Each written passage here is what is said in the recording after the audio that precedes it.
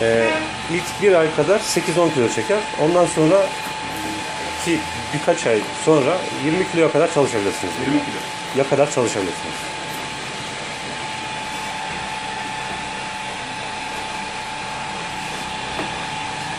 Bir iki ufak tefek bakım meselesi var. Onları da izah edeceğim.